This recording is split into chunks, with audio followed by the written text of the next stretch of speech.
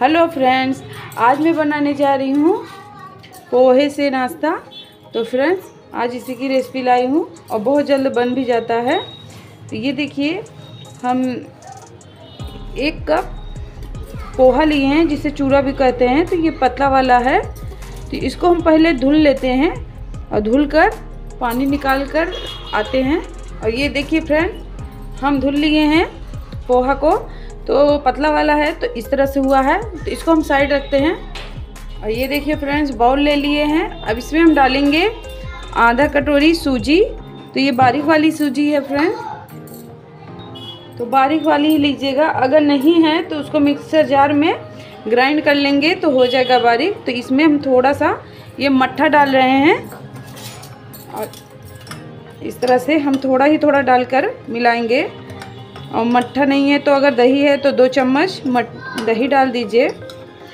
तो हम पानी नहीं डालेंगे फ्रेंड्स, हम मट्ठे से ही इसका इस तरह से बनाएँगे।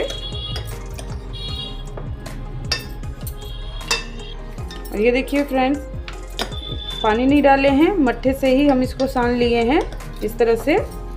तो अब हम डालेंगे इसमें तो ये देखिए फ्रेंड्स, शिमला मिर्च हम डाल रहे हैं। तो एक छोटा छोटा हम काट लिए हैं, इसको हम डाल देंगे।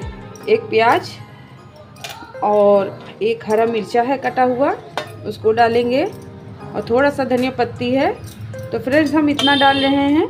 आप इसके जगह और कोई भी सब्ज़ी डाल सकते हैं। पत्ता गोभी बारीक काट कर डाल सकते हैं, गाजर डाल सकते हैं। अपने पसंद की कोई भी सब्ज़ी डाल सकते हैं। तो अब इसमें डालेंगे हम थोड़ा सा रेड चिली फ्लेक्स डाल रहे हैं, खड़ा जीरा और हल्दी पाउडर, आधा चम्मच आधा चम्मच से भी कम, धनिया जीरा पाउडर और नमक स्वाद अनुसार। तो इसमें हम डाल दिए हैं फ्रेंड्स और ये जो चूरा भिगा है ना तो ये देखिए, एकदम इस तरह से हो गया है, फुल कर एकदम। इसको हम इसमें डाल लेंगे।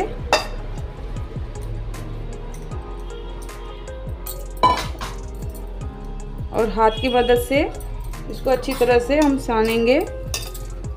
सब मिक्स कर लेंगे अच्छी तरह से।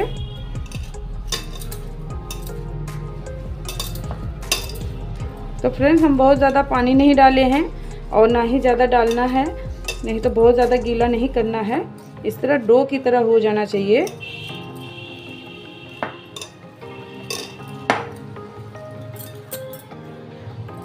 ये अच्छी तरह मिक्स हो गया है तो चलते हैं गैस की तरफ़। और ये देखिए फ्रेंड्स गैस जलाकर तवा तवा रख दिए हैं, उसमें हम तेल डाल दिए हैं।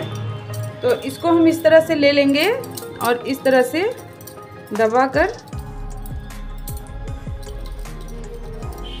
इतना इतना बड़ा सेप बनाएँगे, गोला बनाकर हम डालेंगे फ्रेंड ये देखिए, इस तरह से। दूसरा वाला भी इसी तरह डाल देंगे।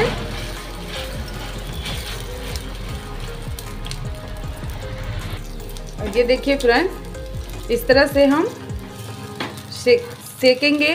तो इसे आप कम तेल में भी बना सकते हैं, अच्छी तरह से बहुत ज़्यादा तेल नहीं इस्तेमाल होता है। तो ये एक तरह से हेल्दी भी है, आराम से आप इसको बनाकर खा सकते हैं।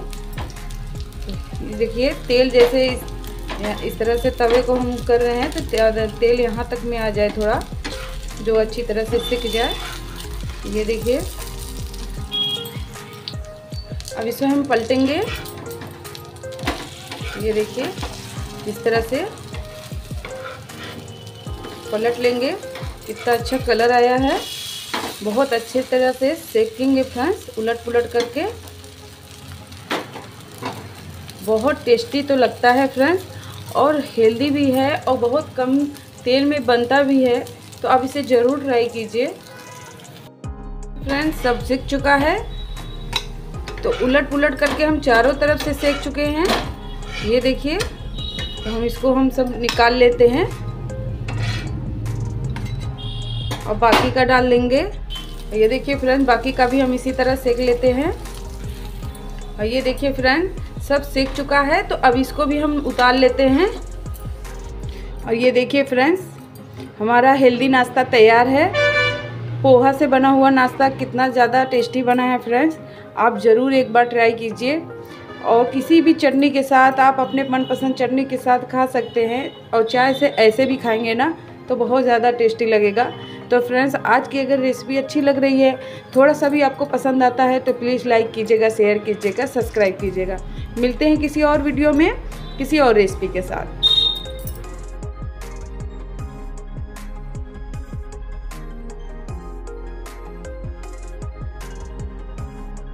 तो फ्रेंड्स अगर आपको मेरी रेसिपी थोड़ा सा भी पसंद आई है, अच्छी लगी है तो प्लीज़ लाइक कीजिएगा शेयर कीजिएगा सब्सक्राइब कीजिएगा।